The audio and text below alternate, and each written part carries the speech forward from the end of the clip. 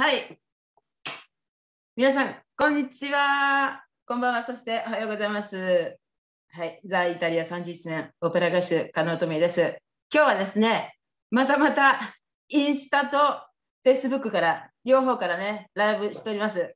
はい、今日はね、対談ライブということで、はい、今日のゲストさんがいるんですよ。あの、フェイスブック見てる人は誰もいないんですけれど、私の目の前にはちゃんとね、あのインスタの人はね、見てると思いますけれどね。はい、森本康介君です。パチ康介君と私の出会いはですよね、何月だったっけ？今年だったっけ、えっと、そうですね、10、10いや、去年の12月、去年の12月？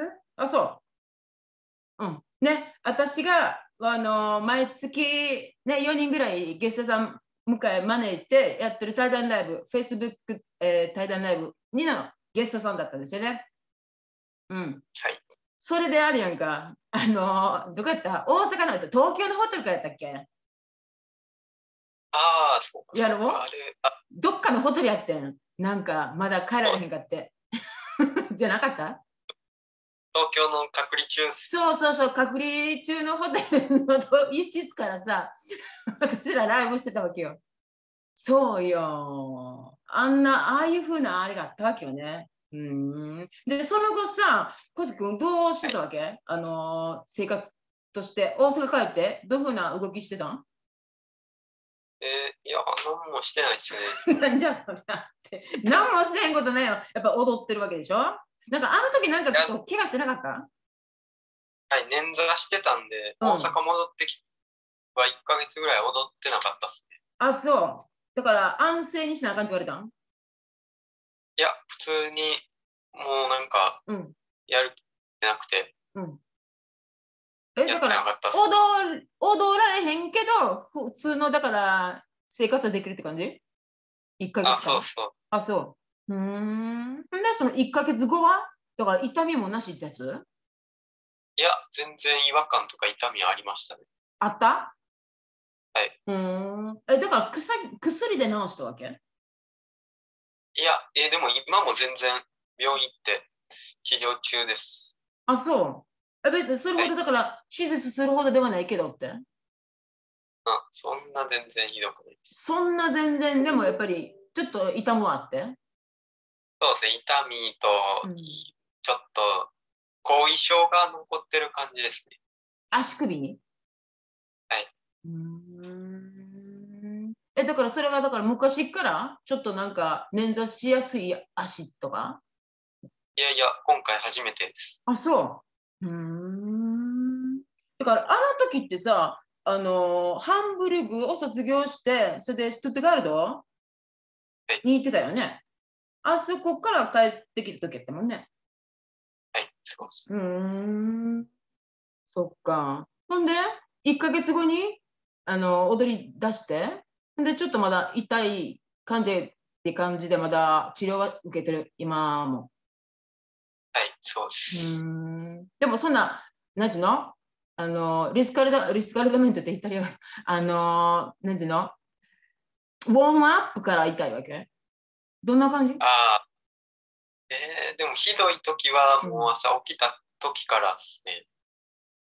朝起きた時から、あ寝てる時はもう全然痛みはなくて寝寝れるわけ？ああ、でもひどい時はちょっと目覚めますね、夜中とかにえ。ひどいっていう時は何？踊りすぎた時？ああ、もうあるかもしれないですね。やっぱ前日とかにうん。夜やってそのまんま寝ちゃったら結構、あ、そう。うーん。だから踊った後にやっぱケアして寝なあかんってことね。そうですね。うーん。で、ずっとやってた人？ケア。踊った後？全然。だから今回痛くなって、もう慌てて、うん。やケア初めてやって。はい。ある意味良かったかもしれないですね。あ、そう。うーん。ほんで、同じ年代の子たちとかどう言ってる？やっぱり、あのー、なんていうの？アフターで、アフターケアはしてるわけ？踊った後、毎日。どうなんすかね。まああ、してるんじゃない。あ、そう、そんなん聞けへん？お前何やってんねんって。聞けへんのか。そうか。でうん興味なかったっす。え？興味なかったっすね、そんな。興味なかった？それは健康やったからやって。だから一回言わしてから、あ、やっぱり気をつけなあかんなってやっぱり思うんやろな。人間って。怪我してくうん、怪我して気がつくよ。うん。はいうん、え、ほな、お兄ちゃんは？お兄ちゃんも帰ってきてんの？まだ。まだ？いつ帰ってくるの？お兄ちゃん早くライブ出てって言っといて。待ってんねんけど、待ってんねんけど。うん、そうえ、8月、7月中に帰ってきはる？気がつうん。うん。じゃあちょっと言っといてね。コスケ君から言っといて。はいうん。えーほんで、あのー、6月も終わりやけど、6月の26日やったっけ？なんか、はい柄出るんよね。それは何？ちょっと宣伝しといて。え、それは、バヤデール、うん。なんか、なんて言ったんよ。関西うん。だ、あ舞踊なんとか協会。じゃあそれ、関西なんて、舞踊なんとか協会、ようわかる。えどこでするんやったっけ？平方やったっけ？えはい。平方？はい、平方です。あ、そう。うーん。ほんで、まだチケットあるんですか？もう、まだありますソールドダウンねあソールドアウトですか？まだある？あります。ある？うーん。じゃあ、あの、平方の方はぜひ、それか、どこ、どこにいてても、あの飛行機乗っても行ってください。平方の方にぜね。うん。で、7月に、えじゃじゃ6月26日が終わって、その後は ?7 月は？7月は、えっ、と、7月31日にうん。友達のとこの発表会です。友達どこだ？どこやそれは。友達どこってどこ？大阪やっぱりえ。ー大阪です、大阪です。友達って誰？私知ってる？えー、脇塚優くんのとこのいや、からん。いや、その子にもちょっとライブ出てって言ってたの。えーね、ローザンヌ6位ですよ。いつの、えー、いつやったかな、あれ。うん数年前です。数年前？あ、そう。じゃあちょっと言っといて。うん。こういうふうなおばさんいるから、ちょっとライブあの来てって言ってたって言っといて。うん。で、その後は友達の、あの、なんていうの？公演の後は？は8月2日ですね。8月2日何またからスターライトっていううん。柄、柄、うん。それはどこやったっけ、は京都？どこ？いや、これ大阪ですね。大阪のどこ？えーっと、そえーっと、これも平方です。あ、そう。同じこえホール？え、違うよ。同じホール？多分、同じ？どうなんですかね。あ、わかんないですようわからん。なんや、それ。うん。ほんで、い一番最後が何 ?8 月の10何日やったっけ？ええーっとね、10、なんかそれぐらいやった？な。6、うん。16、うん。それはどこで？それも大阪やった？京都。京都。うん。京都のどこ？わからん。え？わかんない。はい、私ね、あのーちょっとチラシもらってるんで、皆さんね、あの、Facebook ね、ちゃんとアカウント持ってる方は、私の、えー公開のオンラインサロン、レッツバレットの公開のコミュニティのところにね、ちゃんと、あのー、コウスケ君の、ね、出る、あのー公演のところのね、3つあるのがちゃんとチラシをあの入れてますんで、私もまだ 覚えてません。私まだイタリアなんで、帰ってからよくじっくり見ようと思って、まだ時間あるし、でも26は無理、私27からね、あのー帰るから。うん、だから28に関空入りです。私も大阪人なんで。うん、そうなんですよ。それでね、今日ね、なんでこういうふうに選ぶしてるかっていうと、あのですね、あの、Facebook ライブの方は、Zoom からね、私がやってるのが見れる方は、ここに書いてあるんですけど、2023年の7月第1回バレエフェス、レッツバレット開催したいんです、私は。第1回の。うん、そのね、あのーやっぱり、あのー皆さんに出てもらいたいっていうのは、誰に出てもらいたいかっていうと、私はだから去年の4月3日から、こういうふうに Facebook のね、対談ライブをしてるんですよ。それを編集して、それでその動画としてね、私のバレエチャンネル、一流の、えーバレエ、違うわ、ね、子供を育てる、長い年やったら子供を育ててるバレエママの、えー知恵袋が、もうなんでこんな長いんやってぐらい長かって、自分でも覚えられない。そういうふうなあのバレエチャンネル、だからバレエ、えバレエママで検索してもらったら、はい、すぐに出てきますんで、皆さんね、あのー、興味、ご興味ある方は、こういうふうに対談ライブね、今日はね、コスケ君です。そうですけどね、もう今まで私、だから海外、国内もそうですけど、えー、そうプロバレエダンサーと対談してるのがもうな35本ぐらいあるんですよ。35 5本ぐらい。それで1時間15分とか1時間半、長かったら2時間っていうのもありました。そういうのをちゃんとアップしてるんで、本当にね、あの特に、あの、各そのプロバレエダンサーの人たちが何歳からバレエのね、を習い始めて、それで幼稚園、小学校、中学校、高校、それからスカラシップですかある人はスカラシップでバレエ留学した。で、スカラシップじゃない人ももちろんいるんです。私が何何が言いたいかっていうと、バレエね、早咲きっていうの、その、ね、何歳で何とかの賞を取って、それでスカラシップもらって、あそこのバレエ留学しなあかんって、そんなこと全然ないんですよ。もう人それぞれね、あの、なんていうの？その旬っていうのが、旬って言ったらいいのかな、行く時期があって、花咲く時期があるんですよ。それが一人一人違う。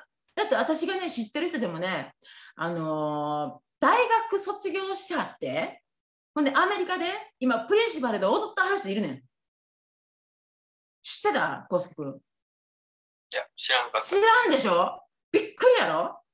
いはんねん、そんな人も。そう。慶応であって、慶応であって、んで、アメリカからあって、今、プリンシパルでもうガンガン踊ってはる人。えー、すごいですね。でしょ？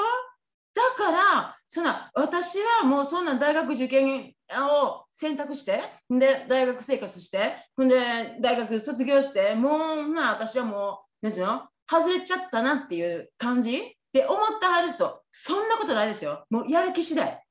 だって実際、違反でもプロバレエダンサーとして大学卒した人で。すごいやん、それって。すごいやん、それって。びっくりやん。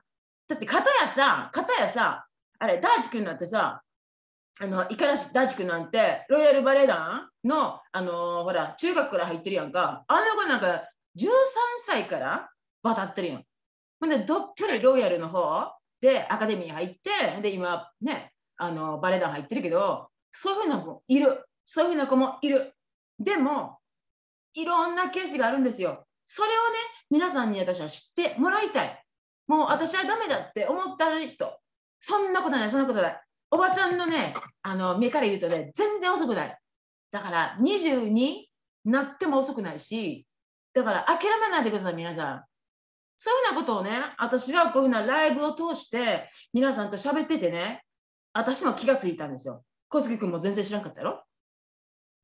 そう、そういうふうな、だからバレエダンサーでも知らんようなことだから。だからこういうふうなコミュニティに入ってください。みんなで、あのレッツバレットの Facebook のコミュニティの、あのそうです、あのオンラインサロン、このコミュニティの公開は無料です。ですんで、皆さんお友達になれるし、実際そのプロバレエダンサー、私が対談した方ですよ、ゲストダンサーの方も入ってらっしゃるから、だから一緒のコミュニティに入ってるんですよ。これってむちゃくちゃさ、なんかワクワクしません？うんってうなずいてるけど、そうやんな。だって、だってさ、あの例えよ、インスタでコウスケ君のそのインスタに入ってるあのフォロワーのフォロワーさんの人いるやんか、その人がコウスケ君のところにあの、まあ、近づいていこうと思ったら、その公開のレッツバレットのおコミュニティに入ればいいね。そうしたらなんか質問とかできるし、浩介君のその今のその活動とかもガンガン載ってるから、そういうふうな浩介君もいてるし、他のゲストダンサーもいっぱいいるわけよ。そう。で、何何を言いたいかっていうと、私はね、あの今さっき言ったように、来年の7月、第1回のバレエフェスを大阪で開催したんです。大阪っていうよりもなんか尼崎のアルカイックホールが好きなんですよ、私ね。自分も歌ったから。アルカイックホールであそこでなんかバレエフェスしたなと思ってるんですよね。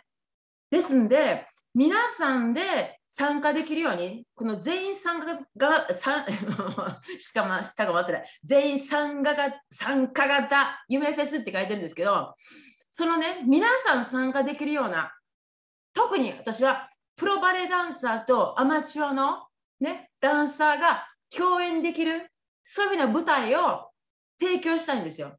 で、ワンデイで皆さんが楽しめる。だからコンクールとかもギスギス感なんか全然ない。だからみんなバレエを踊ってて、習ってて、楽しい、エンジョイしてる、そういうふうなエンジョイしてる人たちが集ま集まって、それでバレエママもそうですよ。バレエママも OK だし、バレエになってるお子さん、それとか、あと大きくなってね、もう大人になってバレエを続けてらっしゃる人、それとか、あとね、あのバレエダンサーとして日本で活躍されてる人ももちろんいいんですよ。そんな人が全て集まってフェスをしたいんです。そう。で、踊る人、踊らない人、いっぱいいてていいんですよ。踊る人は、そのね、プロバレエダンサーと共演するっていう夢がありますよね。それを夢を叶えるっていうのがまず一つね。で、あとは私の、あのー、頭の中で考えるのはね、アイデアとして、やっぱり裁縫とかすごいさ、あのー、ダンサーって上手やん。まあ、男の子はどうでもいいけどさ、裁縫とかせえへんコウスケ君。ああ、まあ。やんの？シューズの。え？はい。シューズ縫うシューズ。うん、そうですね。たまに。たまに？針とか、あの、持つわけ？あはい、たまに。たまに？え、ほな、結構好きな方なの？いや、全然。全然。飲まなあかんかしょうがなく？しょうがなく。うん。ていうかさ、女の人でさ、なんかあのボディとか作ったりできる人もいるわけよ。むっちゃ器用な人。むちゃくちゃ器用な人がいるから、そういうふうな人は、なんかさ、あのコンテストボディのなんかデザインコンテストとかさ、だから裁縫でね、作るコンテストとか、なんかコンテスト形式で私は賞を与えたいんですよね。例えば。そう。それと、私ね、このバレエフェス、 Let's Ballet を開催したんですけど、まだこの Let's Ballet とか、オンラインサロンの Let's Ballet のロゴがないんですよ、ロゴ。ロゴも、だからデザインとか、ああいうふうな好きな子のみんながコンテスト形式でロゴを作ってもらって、それで投票で1位の人のロゴを好きあの私が使いたいんです。どう思う？いい、んじゃないですか。いいと思う。だってさ、やっぱりみんながいいなっていうロゴの方がいいじゃん。私がいいなと思うよりも。はい。うん。そう、そういうふうなロゴとか、ね、あと、私ね、知ってるの、あの、インスタのフォロワーで、ね、友達になってるバレママがいいんだけど、その人すごいね、あの、献立の、あの、女王。もう、娘さんがさ、あの、まあ、バレエやってて、で、毎日の献立がさ、あの、写メでさ、出てるわけよ。投稿したらね、むっちゃこれ、え、これ毎日作るのっていうぐらいのさ、献立、素晴らしいなと思って。だから、バレエママのコンテストは、献立コンテスト とかさ、やりたい。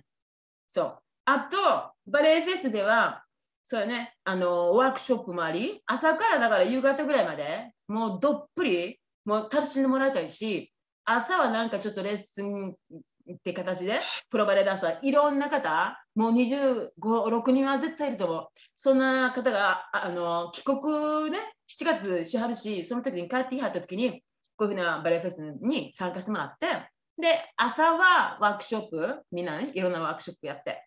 で、まあ、昼ご飯食べて、ちょっとなんかお腹、あのちょっといっぱいやったらしんどいからさ、踊るの。だからちょっとして休憩してから、なんかそういうなコンテスト形式、楽しめて、そのばうん、と海外の、海外、国内のプロベラダンサーとアマチュアの方の共演で、あの順位決めていくっていうの？あのお遊びやけど、でもお遊びの中に真剣度はあるけどね。うん、だからそんな、だからギスギス感はなく、みんなが楽しんで、あ、この、このグループむっちゃいいっていうような感じのを投票して、1位、2位、3位決めたいなとか思ってます。他になんかコスケ君なんかやりたいことある、いや。出してよ、なんか、一つぐらいは。一人ずつなんか聞くね私。やりたいこと。はい。コスケ君の番。おばさん言い過ぎたから。やり、こんなんやりたいなとか。いや 急に振らんといてくれって。いや、ないですな。なんかいっぱい言ってくれたんで。あそこなんか入ってた？例えば？どんなことしたかった？私が言ったことで？衣装とかいいんじゃないですか？衣装？ほんなら、え、コウスケ君が塗るわ塗るわけ？僕は、こんなん、全然。うん。えほんなら、シューズ縫うの誰が一番上手か？あの、プロバイダダンサーで。男、男組は誰が一番うまく縫えるか。それで、1、あー2、3位決めるとか。ね。うーん。なんか、あの、なんていうの？ウェアとかに来れへんわけ？なんかえ、ウェア、えウェアとかに来れへんの？ウェア？うん。なんか練習着とかにこ来れないの？どこそこのあのメーカーのがいいとかさ、ああ、どんでもいいわけ？僕、男の子？にしてないですね、僕は。あ、そう、ナイキでいいの？プーマかナイキか。あ、でもあんまそういう経験ないですね。あ、そう。うーん。はいえ、他の子どう言ってる？友達とか。なんかこだわってる子いる？なんか一人、なんか友達でむっちゃ、あのなんてこだわってる子とか誰かいる？えーいやー、でもあんま聞かないですね。あ、そう。うーんやっぱ女の子と違うわけやな。女の子ってどこそこのあれがいいとかさ、もうなんか話が、まあ、弾んでるやん。はいはいはい。ボディの、なんかどこそこのボディはいいいい悪いとか。はい。じゃない？うーん、そっか。そっかそっか。それでですね、あの一番最後にですね、私は紹介したのは、皆さんに紹介したのは、これなんでね、対談ラブしてるかっていうと、あのー今さっきまでね、23年の7月第1回バレエフェスレッツバレット開催したいっていうふうに思ってます。ですんで、皆さんね、このね、もうだからもうすぐ7月入りますよね。1年間を通して、私たちと一緒に、私たちって、コウスケ君と私だけじゃないんです。ね、私が今まであの対談ライブしたゲストさんも大勢いらっしゃいます。誰がいるかっていうのは、私のあの今から言うね、Facebook グループ、公開グループ、オンラインサロン、レッツバレットっていうところをね、で検索してもらったらね、どなたが入ってるかっていうのが見れます。その方が、その方々が、ね、一人ずつオンラインサロンの中に部屋を持ってます。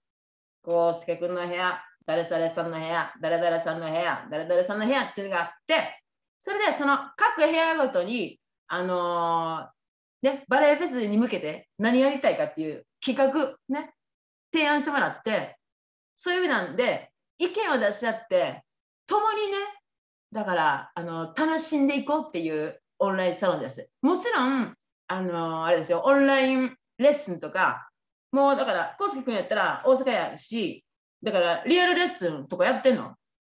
教えてんの？いや、教えてないです。教えんの嫌やの？いやー、いや、わやったことないんで全然わかんないであ、す。そう、じゃあやるって。あの、コウスケ君もね、あの、リアルで、オンラインでじゃなくてね、リアルでもね、大阪の方、特に、取れなかったっけ？すんねの？なかったです。うん。豊中付近の人は、あの、リアルでもね、うん、あの、私に言ってきてください。私に言ってきてくださいっていうのは、どういうふうに言ってきてくれるかっていうと、インスタの透明可能で検索してもらって、そこのね、プロフィール欄に、えー LINE の公式アカウントのリンクが貼ってます。そこをタップしてもらったら、すぐに、あのお友達登録になるんですね。そこで、バレエフェスって書いてください。バレエフェス。バレエフェスで書いてもらった後に、コウスケ、コウスケの部屋、コウスケの部屋っていうところを違うあの書いてもらって、で、私に送ってください。そしたら、あの迷子にならなくて分かります。これ誰の部屋の子かなっていうので、ちょっと分からへんかったらあかんから、コウスケの部屋、バレエフェス、コウスケの部屋で私に送ってください。そしたら、私がそのね、コミュニティ、オンラインの公開の Facebook 公開コミュニティの方に、はい、皆さんを、はい、招待しますんで、そこでね、あの盛り上がってますから、皆さんね、どういうふうな活動されてるかご覧ください。はい、それで、部屋にね、各部屋に入ったっていうか、オンラインサロンは有有料ですけど、そのオンラインサロンの説明会っていうのはね、私はだからもうちょっとしてから、コウスケ君と一緒に、あの、ズームに入ります。ズームに入って、ある程度の方が集まったらね、あの説明会、プラスあの親睦会ですね、開きますんで、ぜひ皆さん参加してください。はい、ということです。ありがとう、今日は。じゃあね、またね、あほんなら、あと3日後 またね、うん。ほんなら、26日頑張ってね。え ?3 日後、なんかありましたっけ ?3 日後またインスタライブ。嘘嘘。冗談冗談。またね、そしたら。はい、はい、また。はい。はい、さよなら。皆さんさよなら。